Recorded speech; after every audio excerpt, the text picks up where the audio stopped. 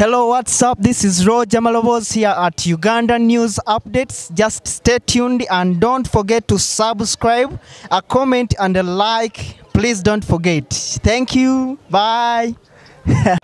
Zuena has been so patient with me. I was still building a future for our kids, but now that everything is set, I promise that I'm going to wed her even before the end of 2020. Bebe Kuru atiddemu. Bebe Kuru ayagala kuwasa mukyala we Zuena Kirema era ng'asuubizza agambye before the end of 2020 agenda kuba awasa mukyala we Zuena ono era mu mbaga ezijjaawo maaso musuubireeyo eya Bebe Kuru ne mukyala we Zuena. Bebe Kuru ono embeera egenda mu maaso mu ggwanga naye agiraba mu buwe agirabira ku sayidi ye kwegamba atiddemu okubeera ng'ennaku zino abakyala abasinga beekyanga bwekyanzi. Abakyala baagala kunoba bunobi. Abakyala abasinga banoba olw'eyo embeera abasinga baagala bwagazi bayanjule babba baabwe.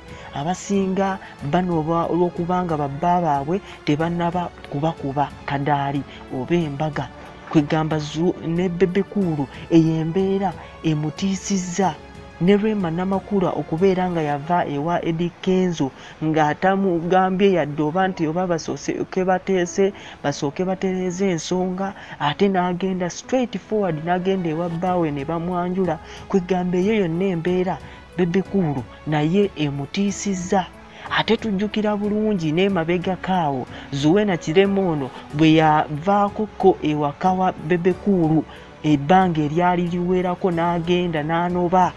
Bebekulu yakaaba amaziga n'ayimba obuyimba obukoola mukyala we akomewo. Bebekulu yakola buli kimu kyonna kyonna ekyazza mukyala we. Mpaka mukyala we weyakola ki? Weyakomawo ewaka. Naye ng'ekituufu kiri nti situation y'ennaku zino etiisa ne bebekulu olaba atidde kitegeeza nti abasajja balina okweddako okulabula kuno kugende eri buli musajja nti olina okuwasa mukyala wo olina okumuteekamu ku ssente olina okugenda ewaabwe gye bamuzaala osobole okulaba ku bakadde be obatwalireko ku bintu. Bakadde baabwe baba baabakuza bulungi ebiseera ebisinga ate baba baabateekamu ssente nnyingi. Kati kwegamba buli musajja yenna nange nga mwontadde tulina okweddako.